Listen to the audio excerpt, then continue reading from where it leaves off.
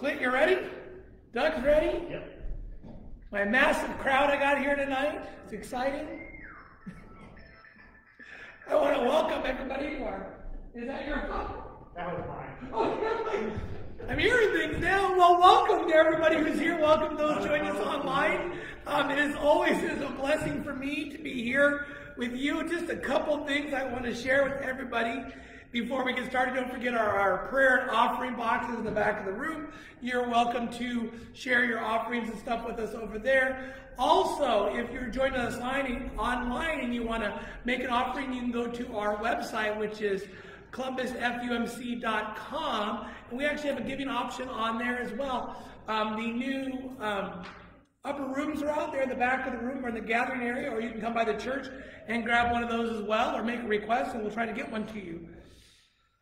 With that, I don't think, I mean, we had a busy day today. We, we had craft show yesterday. We had um, trunk or treat today. If you don't live in Nebraska, it's maybe it's warmer where you are, but it was very cold here. So uh, we were glad to get back inside and get warm. So again, we want to welcome everybody who's joining us online.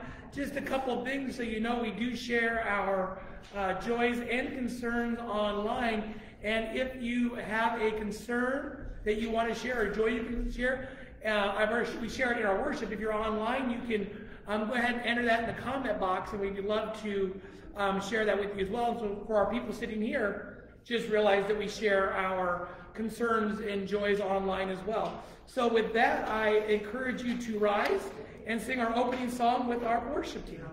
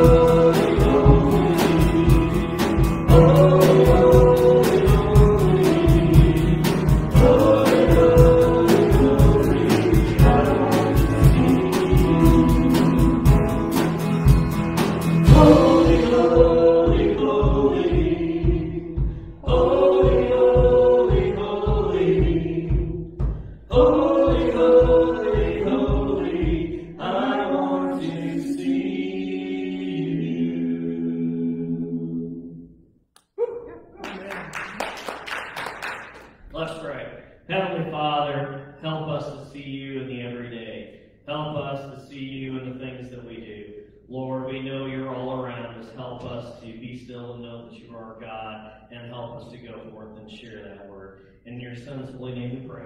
Amen. Oh, we're gonna do what? Oh, that's sorry, we're changing words. My bad. I'm reading, really. Just ask my wife. We can't, she's not here. Please be seated. Our Old Testament reading this evening is Psalm 90, verses 1 and 2. Lord, through all the generations, you've been our home. Before the mountains were born, before you gave birth to the earth and the world, from beginning to end, you are God.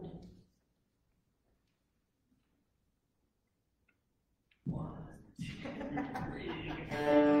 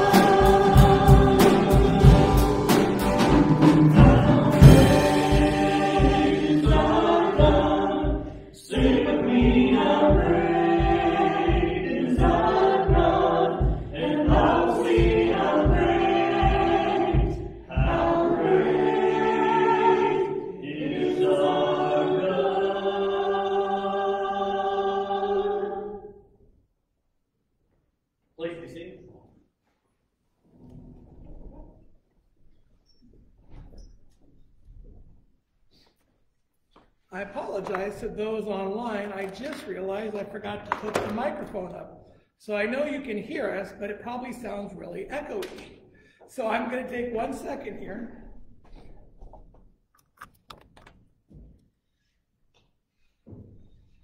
And hopefully that improved your audio.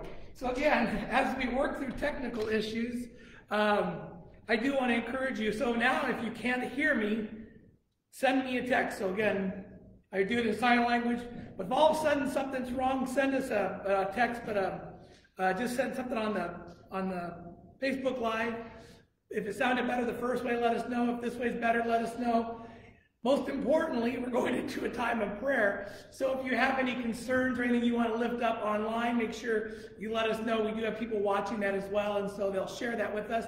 There's usually about a 20 to 30 second delay. So again, we'll catch you before we're done. With that, um, do we have any concerns or celebrations here that anybody like to? Well, we'll start with, sorry, concerns only. And then what I do is I pray over top of those concerns. And then as a group, we will say, Lord, hear our prayer. So are there any concerns at this time that anybody like to lift up? Back here?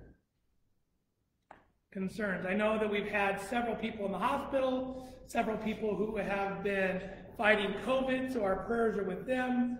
Um, we've had a few uh, deaths in the community. We're still praying um, for the family of those affected by the fires, uh, the fire that we had in community. Um, we know that there are, as we get into this cold season, there's always prayers for just um, homes maybe who can't afford to keep their house heated or whatever it may be. So there are a lot of concerns. Are there other concerns? Yes, Tracy. Prayers for all who are battling COVID right now. Yep, thank you. So let's pray over that. So we had a, a request for prayers for all who are prayer, uh, suffering and, and, and just whether it's a family member, a friend, or they individually have it, they know somebody who has it, let's pray over that. Gracious Lord, we know that your presence is always felt, that we just have to close our eyes and just tune into you, and, and you will make us aware of who you are and what you're doing. God, we know that there are so many in our, in our world right now who are uh, uh, uh, inflicted by COVID, whether it is having the, the illness itself or knowing somebody who is. It is discouraging, it is hard, and it's scary. So, God, we pray that you intervene in all places that you can, that you continue to push these numbers down, that you erase this pandemic, that we no longer have to suffer or see family members who suffer. We pray that you intervene however you can. Lord, hear our prayer. Other concerns. Again, we pray through this political season. Um, I wish we could make a rule that our politicians and our um, our people who are, are leading our politics can only say nice things. If not, maybe their taxes would go up. Wouldn't that be nice? Every time they say something mean, they got to put a quarter in the jar. Whatever that is, I don't know. But so for that, let's pray for our, our country, our politicians, etc. Lord, we come to you this time. We know that this is a world wrapped in argument and debate, and I know that wasn't how it was supposed to be. But as sin entered the world, greed and selfishness and jealousy and anger and, and all these things came with it. Lord, we know that you can use um, all these things for the good, the greater good of our country. I pray that you remind us that you are um, a uniting God, that you are a joining God, that you are a God that pulls people together. We thank you for all that you're doing in our lives. We thank you for, for the love that you show. We pray right now that you are with our, our president, that you're with our Congress and the House of Representatives, you're with all the candidates on both sides, that you are with every person as they um, move forward. I pray that all our candidates' intentions are focused back on the needs of the people, that they are focused on the needs of the world, that they are focused on the needs of our community, whether they are a city representative, a state representative, or a global or national representative. God, we know that we need these leaders to guide us, but we know that our eyes have to go to you first. Remind us of your grace. Remind us of the peace that you give, and remind us that love comes directly from you. Lord, hear our prayer. Are there any other concerns at this time? Any others from online, Tracy? Okay, well, I'm going to pray then. Gracious God, we come to you at this time. We know that this is a world divided, that this is a world that has been put into turmoil and arguments and fights. But that's the way it was when um, sin entered the world. We knew that we'd all have to live in this, that we'd all have to suffer this. But that is why you sent your Son into this world to show us that there is a new path, that there is a new way, that there is a way of light and peace. God, we thank you for the gift of your Son. We thank you for the sacrifice that he made. We thank you for the reminder of the beauty of the kingdom that we all get to. Lord, remind us that it is only through you that we can find true happiness, that we can find true peace, and that we can find true love. Lord, I pray that your hope and your love and your peace and your joy pour over this congregation right now. Anybody who's here with us present, or anybody who's watching us right now or watching us later. God, you do amazing things, and we thank you for that. We thank you for your presence in our lives. Lord, I pray that you heal the sick, strengthen bodies, strengthen minds, and strengthen spirits. We know that there are so many people who are inflicted not just with the physical suffering, but the mental suffering and even the spiritual suffering that comes from a pandemic from the worries and the fears of this world. But you are a saving God. You are a merciful God, and you are a healing God. Lord, we come to you now as your children. We call out to our Father. We ask for his um, answer to our prayers. We thank you for the gift of your Son. As brothers and sisters in Christ, we come to you. We pray the prayer that you taught us long ago. Our Father, who art in heaven, hallowed be thy name. Thy kingdom come, thy will be done, on earth as it is in heaven. Give us this day our daily bread, and forgive us our trespasses, as we forgive those who trespass against us. And lead us not into temptation, but deliver us from evil. For thine is the kingdom, and the power, and the glory forever. Amen. Please rise as we sing with our praise team.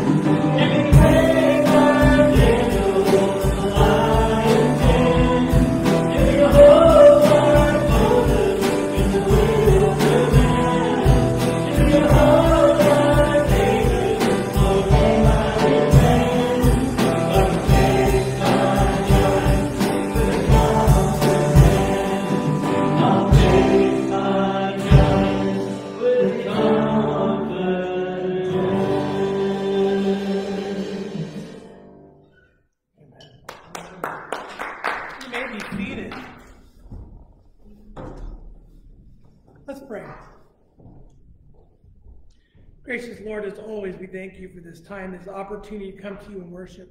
I pray today that the scripture we hear, the sermon that you give me, the songs that we sing, draw us closer to you. Lord, let my words be your words. Remind us that we are um, in a, a, time that we can just sit and be at your feet.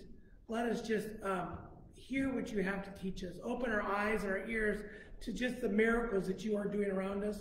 Let your words um, just penetrate our soul and bring us into this wonderful place of worship. In your holy and perfect name we pray. Amen. So I am, we would be kind of at the end of this sermon series, but I'm going to push it one more week into next week because next week is All Saints. And I want to talk about um, great stories next week as well. When you think about um, all the people who've gone before us, I mean, part of this sermon series was to hear what Jesus was teaching us, to hear um, the stories that are in the Bible, and to get us thinking about um, what it is that, um, how the Bible and, and our, our faith um, affect us, and how they guide us, and how they drive us. And the other piece is that is to share our stories with people. Um, and again, it doesn't always have to be this evangelism type thing, but God is doing incredible things in our lives. And I think one of the downfalls we have is we don't share what God is doing. We don't celebrate um, these actions. We don't share enough stories. And with our kids, they like to watch a lot of TV and they get engrossed in that, and that's great. But sometimes they miss even just the storytelling of a good book or listening to grandma and grandpa tell stories. And so that really has kind of been um, the piece of this I've really wanted to push. Um, the, the, the, scripture we're going to hear um, is out of Luke 14. And right before um, the particular scripture I'm going to read, um, Luke is telling a story about Jesus talking. He gets invited to a party with the Pharisees and all these high ranking people, and they're trying to scramble to get good seats, and, and there's all these party etiquette things going on. And so Jesus is talking before this particular scripture about look, you guys are focused on the wrong things. You need to be humbling yourself. You need to um, slow down and, and, and, and you need to be thinking about how you can give back. You know, he talks about if you only invite your friends to your parties, they're going to invite you back. And there's no reward in that in heaven. You know, he's like, you need to go out and invite those who have nothing, who are in need to your parties. The people who can't invite you back, the people who aren't going to give you something in return. He's saying you need to humble yourself where you sit, and you need to um, do things as to not get something in return. That's that generosity. And that's what he's talking about. And then someone says to him, Well, I wonder what it's like to have a kingdom in heaven. And that is where our scripture is. So we are in Luke chapter 14, starting in verse 15. This is what he says. It says, Hearing this, a man sitting at the table with Jesus exclaimed, What a blessing it will be to attend a banquet in the kingdom of God. Jesus replied with this story A man prepared a great feast and sent out many invitations. When the banquet was ready, he sent his servants to tell the guests, Come, the banquet is ready. But they all began making excuses. One said, I have just bought a field and must inspect it. Please excuse me. Another says, I just bought five pair of oxen and I want to try them out. Please excuse me. Another said, I now have a wife, so I can't come. The servant returned and told his master what they had said. His master was furious and said, Go quickly into the streets and the alleys of the town and invite the poor, the crippled, the blind, and the lame. After the servant had done this, he reported, There is still room for more. So his master said, Go out into the country lanes and behind the hedges and urge anyone you find to come so that the house will be full. For none of those I first invited will even get the smallest taste of my banquet. This is the word of God for the people of God. Thanks be to God. So, some very, very strong words. And we know that Jesus shared, especially in the presence of the Pharisees, of the religious people, he shared a lot of hard stories. And there's a couple things I want to point out as we kind of, um, as I studied this. And I thought this was interesting. In that day and time, obviously, you just couldn't text your friends. So if somebody would decide to have a banquet, he'd have to let his friends know well in advance. He says, hey, you know, two weeks from, you know, this day, we're going to have a banquet. You know, I don't know the time yet, but we're going to have a banquet. Because again, preparing a meal wasn't as simple, but they all knew the day, and people would accept that invitation way in advance. And then when the banquet was ready, the servants would go out and say, okay, we're ready for you, and you can come to the banquet now. So they never really had a time. They'd just say when things were ready, they send the servants out and they bring them back. To not come was very rude. And as it is today, if you invite somebody to party, they say they're going to come, they don't come, it's very rude. But again, this was a, definitely a culture of etiquette and rules and status. And so when you did something like this, it, it was deemed to be very rude. Um, it, it kind of got me thinking, I think it's a country song. Everybody wants to go heaven, but nobody wants to go now. You know, this idea that, that we all want to accept God's invitation, right? We want to accept this invitation.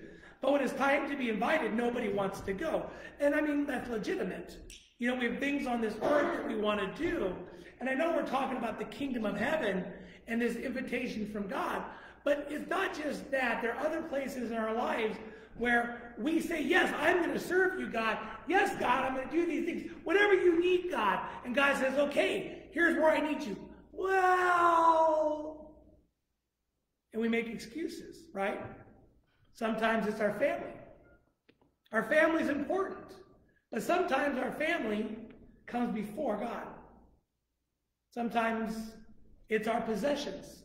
We need to go out and do and have fun and do all these things. And sometimes it's our work. So he gives you three, three examples. You know, I just got oxen, I got to go try them out. I just bought this great field, I want to go see it. I just got married, I can't come. We make these excuses. God wants us to do things for him, and then we make excuses as to why we can't. And for me, when I hear these stories, I mean, how many times in my life, for goodness sakes, even in the last two, or three weeks, have I made excuses? Well, I need to go do these things for God but, you know, I kind of got, and I need to, and it's bad. And we all do it. And, and, and we just got to understand that how rude that is. We, we accept this invitation to become a follower of Christ. We accept this invitation to go out and do the things that God calls us to do. And then we're not, we feel like we're not prepared, we don't have the resources, we're scared, or we're too busy or something else. And and really that's kind of where we are. And and and and um, that's the part of this that scares me. You know, because Jesus talks about the kingdom, and that's kind of what we're talking about today is this idea of the kingdom. Jesus will say the kingdom of God is like. The kingdom of God is like. You want to read those, you go back to Matthew. I think Matthew 13 has several. The kingdom of God. I think we've even read, uh, preached about a couple of these where the kingdom of God is um, like the wedding banquet. But the kingdom of God is like a sower of seeds. These are all these stories that God, that Jesus talks about to his followers because at that time the people wanted to know what the kingdom of God would be like. What would it be like to be in the presence of God? What will it be like when we're there with God? And people want to know that because again, it's the end of life is scary. I can only imagine what people go through when they come to that point in their life. Either they're fully prepared for it or they're not. But this idea of this um, beautiful kingdom that we get to go to is really important. It's important to us now, and it was definitely important to people in Jesus' time because they asked about it, and Jesus talked about it all the time. The kingdom of God. And what we know about the kingdom of God, it is a wonderful place. There'll be no more pain. There'll be no more tears. There'll be, you know, all these great things that happen there. We'll get to worship God all the time. We'll be in the presence of the, the saints that went before us. But the recognition is we still have to live this life on earth. And we can't get so focused on the kingdom. But what happens is, we've talked about this several times, on this earth, we get pulled away, we get separated, we start to make excuses. One of my very, very, very favorite verses of all times comes out of the book of Revelations. Very few people say that. I know, because Revelations is scary. But again, you want to find out what the kingdom of heaven is like. There's some great stories in there as well. My favorite verse comes out of Revelations 3, um, verses 15 to 16. And this is where Jesus is talking to the seven churches in um, Asia. and he's talking. Um, uh, I believe this one is oh, Laodicea. He's talking to them. He's like, "Hey, don't be lukewarm, because I'll spit you from my mouth. I wish you were either hot or you were cold, but the lukewarm I will spit from my mouth." And again, why would why would somebody like that verse? Because it's a great reminder that I'm not to be lukewarm. Now, I'm not, if, if I claim to be a Christian, I need to hold that line. Yes, I'm going to fail. Yes, I'm going to make mistakes. But I need to hold that line. I need to focus on the kingdom. I need to focus on why I'm doing what I'm doing. And, it, and it's because of the two rules. We all know the two rules, right? Love God with everything we have and love people. Those are the two rules. Love one another and love God. Those are the two rules. And if I stay focused on those two rules, I'm focused on the kingdom of heaven. I'm focused on what God wants for us. I'm focused on the good of the world. If I'm focused on that, I will not be lukewarm.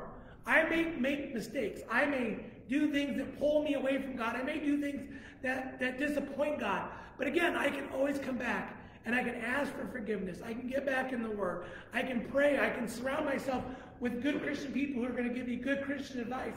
And I can move forward and I can always fix what I've done. That's a loving God.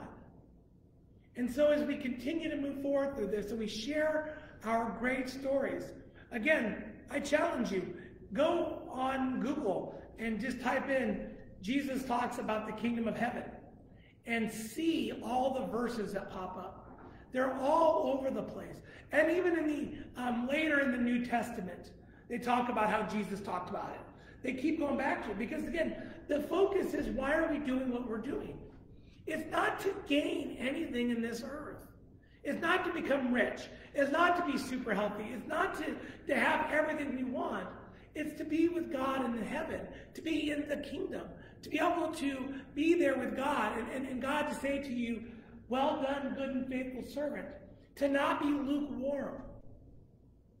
And, and there is joy in doing good. There is hope and peace and love and all the things that we need in this earth. By doing these two things, loving God and loving people, we get the things that we seek the most. Yes, it's hard work. Yes, there are things that are going to be in the way like family and work and the possessions in our lives. And those are the things that will distract us. And God said, and this is one of the hard ones, you need to hate your family compared to how much you love me. He's not saying you don't love your family, but you need to love me so much more. You love me so much more. And in return, we talked about this earlier, you will love your family so much more. It's kind of like that pearl we need to give everything up to God, and God will give it back to us, and we'll uh, treasure it so much more because God has blessed it. When we love God that so much more, we love our family, we love our work, we love the things that we have in a godly way. These things don't become excuses anymore. They become things that help us um, do the work of God all of a sudden our work is an excuse anymore. It's an opportunity for us to share our stories and do the things that we need to do. The, the possessions and the places we go and the fun things don't become an excuse. They become an opportunity for us to share the blessings of God to other people. If you have a house, invite people over, not just your friends, and not being expected to be invited back, but have banquets, have people over, share what you have with people. And if you have a family, love your family. Teach them the ways of God, what God wants them to know, and, and, and be, be with them. And then tell people the stories of your family when they succeed, when they fail, the silly things they do, the silly things that you do. And celebrate God through these things that were once excuses, now become reasons and opportunities for us to share God. They become excuses to do the good things and not just the bad. Let's pray. Gracious Lord, we thank you as always for this time. We know that there are so many things going on in our lives that we are distracted. We want to make excuses. We want to say, God, I'm, I'm too busy. I'm too scared. I'm too worried. I don't have enough whatever to do what you're asking me to do. But God, remind us that we are strengthened by you, that you give us the power we need, that you have only given us the two rules love you with all we have and love people the same way. Keep our eyes focused on you, God. Keep us focused on the kingdom of heaven. Keep us focused on the good that we can do in your name. Uh, remind us to use all the blessings and all the gifts we had to celebrate and to give to other people. Lord, continue to walk with us and remind us that we are blessed, that we've been given more than we deserve, and you love us more than we deserve. And the reason you do that is so we can share to others more than maybe they deserve. Lord, we thank you for all of this. In your holy and perfect name we pray. Amen. So we are in a time of celebration. I want to remind you that if you have any offerings you have not put in, you can definitely drop those back in the offering box in the back. Also, if you have a prayer you didn't want to share with us, you can always write it down a prayer card and drop it in the box as well.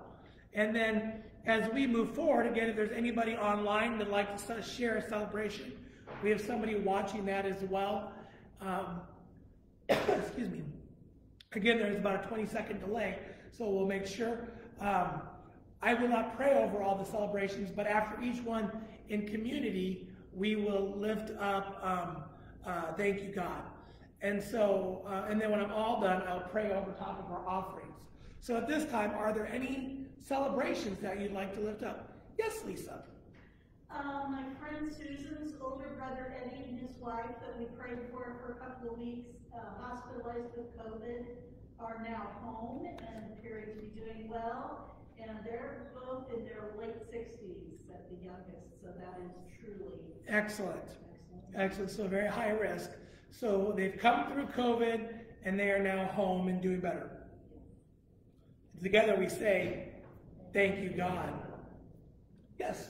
Um, the snow in Colorado, my sister lives in Fort Collins, was talking about getting ash on her deck, which she's never had. I mean, she's had smoke and she says all the lights, I mean, all the sensory lights are on even during the day, but she says she's never been so grateful for snow as she Oh. has today.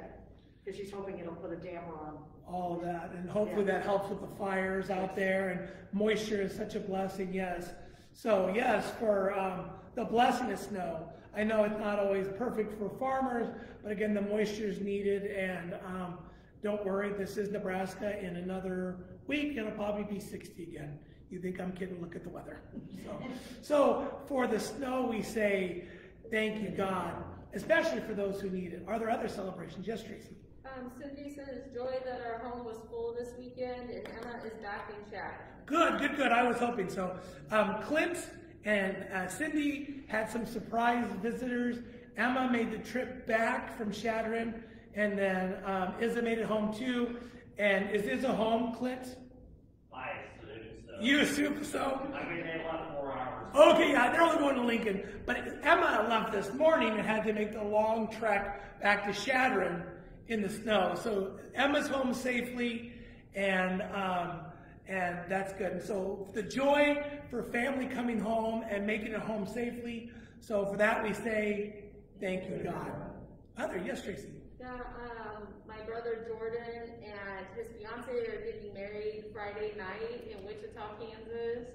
Um, unfortunately, with COVID, we aren't able to go, and so that's sad. But I'm also very happy that they're getting married because they had planned it in June, and it was completely canceled because of COVID then.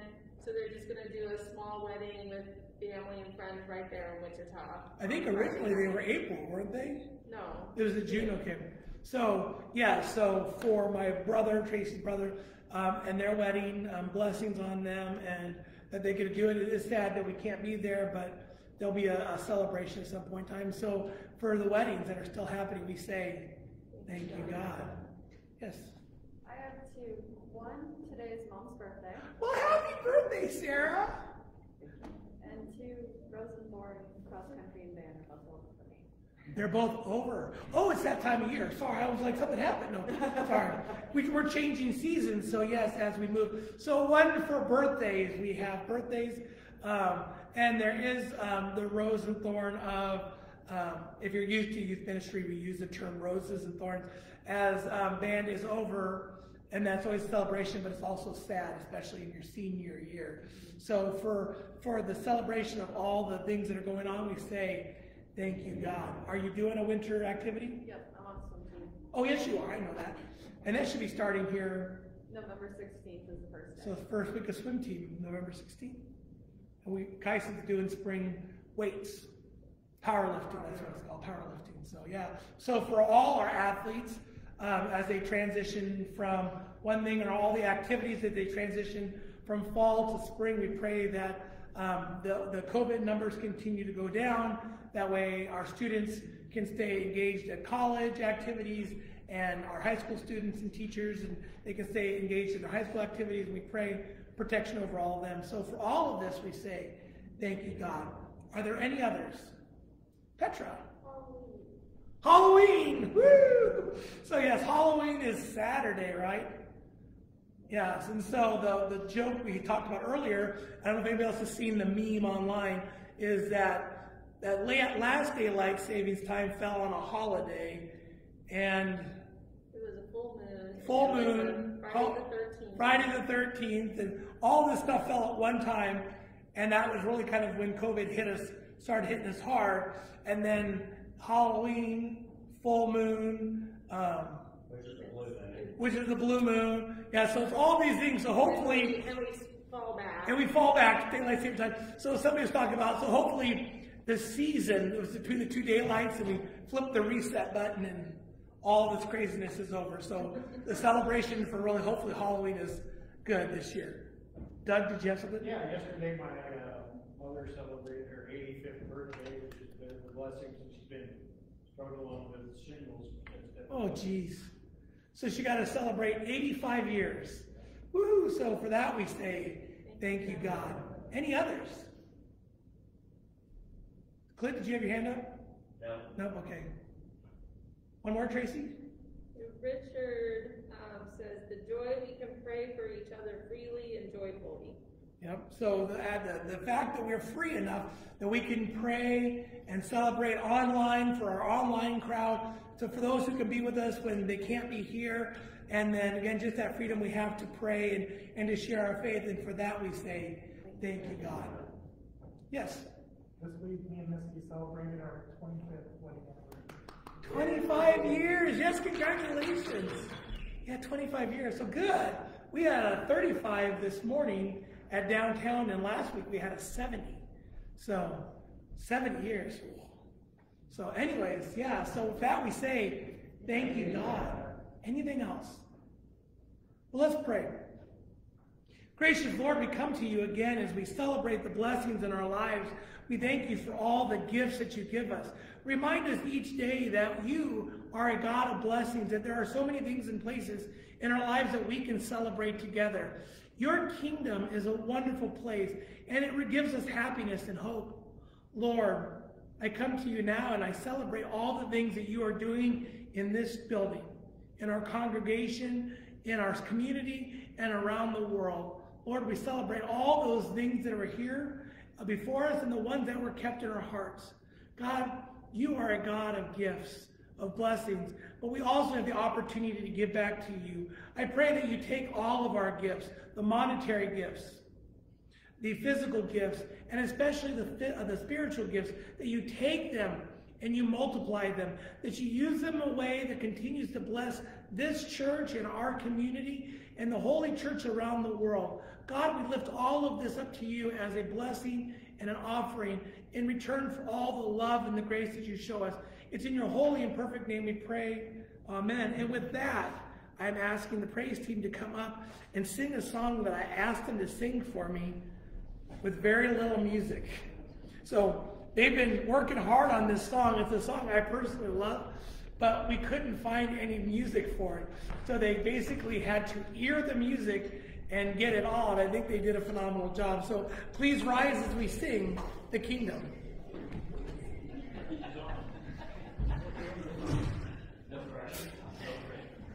I took it all off.